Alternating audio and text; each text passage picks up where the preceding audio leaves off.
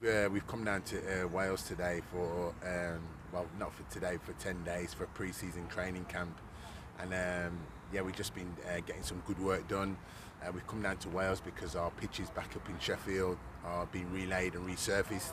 So we've come down here for 10 days so we can get some good work uh, done. We've been um, at uh, Dragons Park and uh, the Welsh FA have been superb to allow us to train there so we're very grateful of it and today we're doing a running session today uh, here at Cwmbran uh, Stadium and um, the team I've got the team on the running track today covering some certain distances in certain times all adding to their uh, physical um, robustness and capacity to get a level based fitness uh, for the season ahead. Well, this, this running track, um, I've lived in Cwmbran my life.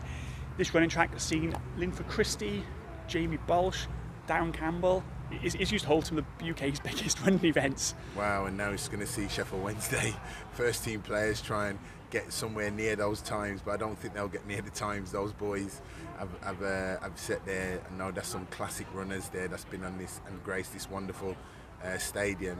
And we're very, very grateful to be here and thankful for allowing us to come here and, and use the facilities and the boys and certainly our staff and that will benefit today. So it's, uh, no, we're looking forward to the session. Well, I am, but I'm not sure the players are.